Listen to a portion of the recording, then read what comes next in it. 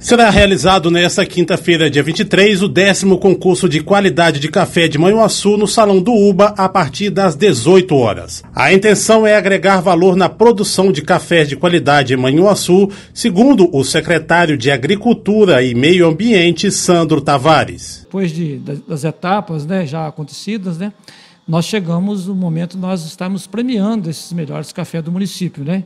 Então, dia 23, né, quinta-feira, na União Bancária Atlética, nós vamos estar fazendo a premiação é, daqueles que são os melhores cafés do nosso município. Os que têm as melhores notas, né, melhores pontuações, automaticamente esses cafés vão estar concorrendo ao concurso regional né, da Emater.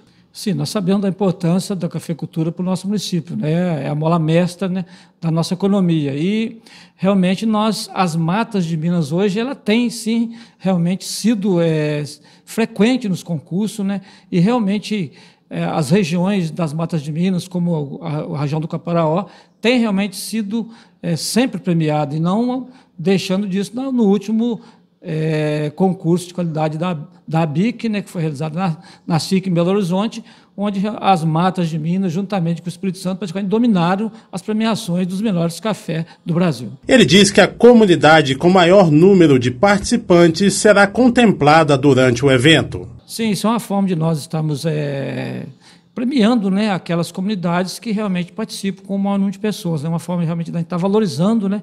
E desde já nós estamos aqui convidando né, a todas as comunidades né, que se façam presente o evento, uma forma de estar valorizando aqueles que estão fazendo os melhores cafés. Né?